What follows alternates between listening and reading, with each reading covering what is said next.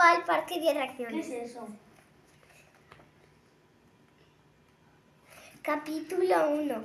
Era sábado por la mañana y el sol entraba por las ventanas de nuestra casa, llenándome de alegría y nerviosismo, como si algo interesante estuviera a punto de pasar.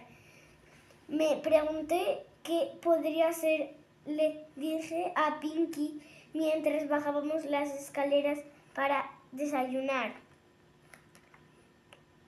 Em, Pinky daba saltos a mi lado, era mi peluche favorito hasta que mamá le dio vida con su varita mágica.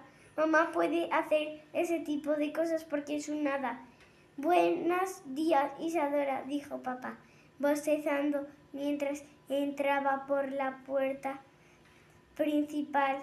Volvía de su vuelo nocturno. Papá es un vampiro. Por eso se pasa la noche de despierto y duerme durante el día.